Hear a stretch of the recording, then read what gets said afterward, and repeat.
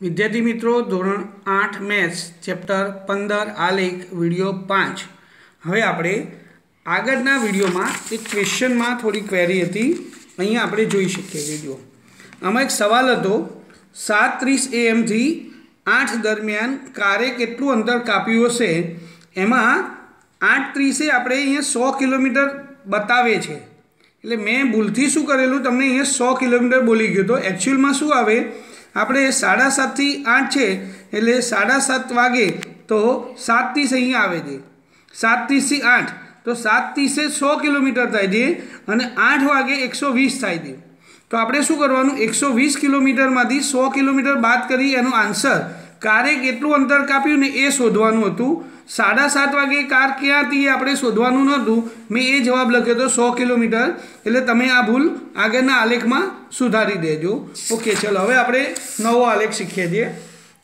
સ્વાધ્યાય પંદર પોઈન્ટ ત્રણનો દાખલો એકનો સી.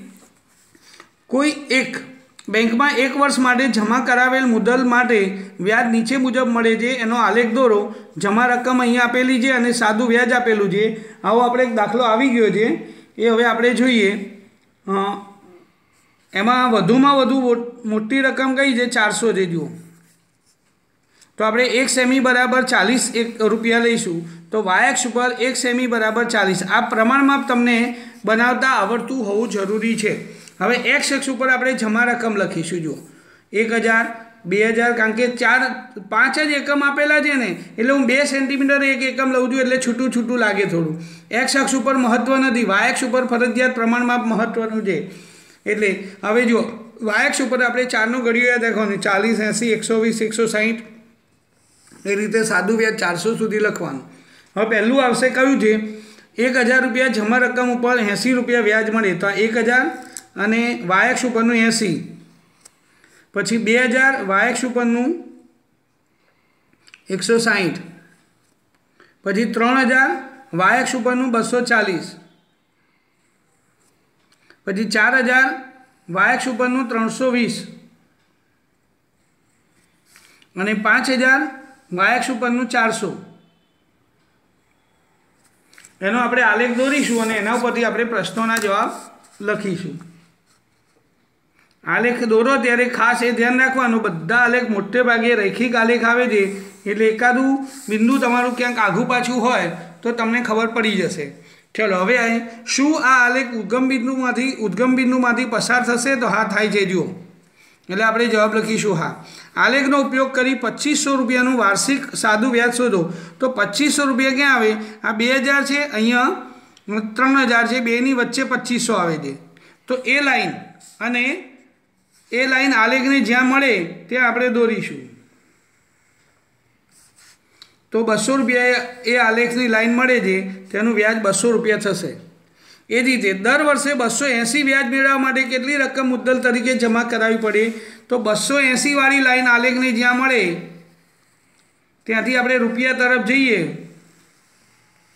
તો રૂપિયા ત્રણ હજાર અને ચાર હજારની વચ્ચે જે રકમ આવશે એ ત્રણ હજાર પાંચસો આવશે, તો આપણે લખીશું રૂપિયા ત્રણ હજાર પાંચસો. એટલે આ રીતે આપણે આલેખ તૈયાર કરી અને પછી એના જવાબ આપી શકાય. હવે બીજો આલેખ છે, જુઓ, એની પછીનો. યોગ્ય પ્રમાણમાં પેલી કોષ્ટકની માહિતીનો આલેખ દોરો. ચોરસની બાજુ સેમીમાં આપેલી છે બે, ત્રણ ત્રણ પોઈન્ટ પાંચ પાંચ અને છ અને પરિમિતિ સેમીમાં આપેલી છે આઠ, બાર, ચૌદ, વીસ અને ચોવીસ. મોટા મોટી રકમ ચોવીસ છે, એટલે વાયક્ષ ઉપર એક સેમી બરાબર આપણે બે સેમી પરિમિતિ લઈશું. તો આપણે એક્સ અક્ષ ઉપર ચોરસની બાજુ સેન્ટીમીટરમાં લખીશું. એમાં વધુમાં વધુ છ રે એટલે એક, બે, ત્રણ, ચાર, પાંચ, છ એ રીતે લખીશું.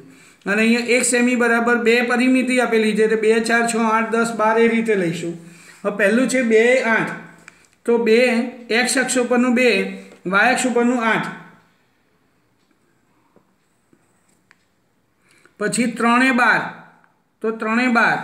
ત્રણવાળી લાઈન અને બારવાળી લાઈન. પછી ત્રણ પોઈન્ટ પાંચ કીધા છે, એટલે ત્રણ અને ચારની વચ્ચે ચૌદ આવશે. તો ત્રણ અને ચારની વચ્ચેનું અઢીખાનું અઢીખાના ચૌદ આવશે. તો આ ધ્યાન રાખજો, આવું લેવામાં ખાસ. પછી પાંચે વીસ. તો પાંચે વીસ. વીસવાળી આડી લાઈન. અને છ એ ચોવીસ. તો છ વાળી લાઈન ચોવીસ સુધી જશે. પછી આપણે એનો આલેખ તૈયાર કરીશું. આ બધા ટપકા એક જ રેખામાં આવે છે, ચેક કરી લો. તો એનો સવાલ છે, જુઓ. શું આ રૈખિક આલેખ છે? તો એક જ રેખામાં ટપકા બધા આવતા હોય તો રૈખિક આલેખ છે. ચાલો, હવે એની પછીનો અને છેલ્લો આલેખ આ ચેપ્ટરનો યોગ્ય પ્રમાણમાં લઈ કોષ્ટકની માહિતીનો આલેખ દોરો, ચોરસની બાજુ સેમીમાં આપેલી છે અને આમાં ક્ષેત્રફળ આપેલું છે ચો સેમીમાં. એમાં આપણે બે, ત્રણ, ચાર, પાંચ, છ એટલે એક શખ્સ ઉપર આ રીતે લઈશું. ચોરસની બાજુ સેમીમાં એક, બે, ત્રણ, ચાર, પાંચ, છ, સાત, આઠ. અને અહીંયા વધુમાં વધુ પ્રમાણમાં એટલે મોટો એકમ છત્રીસ છે, તો એક સેમી બરાબર આપણે બે બે લેવા જઈએ તો અઢાર ખાનાની જરૂર પડે, અઢાર દુ છત્રીસ. આપણી પાસે આલેખમાં અઢાર ખાના છે નહીં. એટલે આપણે શું કરીશું? એક સેમી બરાબર પાંચ. ચો સેમી એકમ લઈશું. તો વાયક્ષ ઉપર ચોરસનું ક્ષેત્રફળ ચો સેમીમાં આપણે પાંચ, દસ, પંદર, વીસ, પચીસ, ત્રીસ એ રીતે લઈશું. હવે પહેલું છે બે. બે કેટલા છે? ચાર. તો બે જ્યારે સેન્ટીમીટર હોય, ત્યારે એની ચોરસનું ક્ષેત્રફળ ચાર લઈશું. તો ચાર ક્યાં આવશે? પાંચની નીચે એક ખાનું જુઓ. અહીંયા ચાર આવશે. આ બે વાળી લાઈન અને ચાર વાળી લાઈન અહીંયા આવશે. પાંચની નીચે એક ખાનું. પછી ત્રણમાં નવ. તો ત્રણમાં નવ ક્યાં આવશે તો દસની નીચે એક ખાનું પછી ચારમાં સોળ. તો ચારમાં સોળ. સોળ ક્યાં આવશે? તો પંદર પછી એક ખાનું પછી પાંચમાં પચીસ. તો પાંચમાં પચીસ આવશે. એ પરફેક્ટ આવે છે. અને છમાં છત્રીસ. તો છમાં છત્રીસ ક્યાં આવશે? તો પાંત્રીસ પછી એક ખાનું ચાલો, હવે આની ઉપર આપણે ફૂટપટ્ટી મૂકીએ. તો બધા ટપકા એક લાઈનમાં આવતા નથી. તો પછી એને હાથ વડે આ રીતે બધા ટપકાને એકબીજા સાથે જોડવા પડશે. એ આપણે આ રીતે જોડીશું, જુઓ. આ રીતે જોડી દેવાની. અને એનો જવાબ લખવાનો, શું આ રૈખિક આલેખ છે? તો આપણે જવાબમાં લખી શકાય, ના, આ રૈખિક આલેખ નથી, કારણ કે એક રેખામાં આવતું નથી. આ ચેપ્ટર અહીંયા પૂરું થાય છે. હવે હોમવર્કમાં તમારે શું કરવાનું છે? પ્રેક્ટિસ બુકમાંથી પ્રેક્ટિસ બુકમાંથી સ્વાધ્યાય પંદર પોઈન્ટ છની આ પ્રશ્ન એકની ખાલી ગયા અને પ્રશ્ન બેની ખાલી ગયાઓ. જેટલી છે એટલું એચ ડબલ્યુમાં લખવાનું છે. આ ચેપ્ટરની પીડીએફ નથી. એટલે તમે આમાંથી ખાલી ફક્ત નોટની અંદર આગળનું મેં લખાવ્યું યાદ રાખો. અને આ ખાલી જગ્યાઓ એટલું નોટમાં લખજો. બાકીનું બધું આલેખ પોથીમાં જ કામ કરવાનું છે. તો આ ચેપ્ટર અહીંયા પૂરું થાય છે. ઓકે થેન્ક યુ આવજો.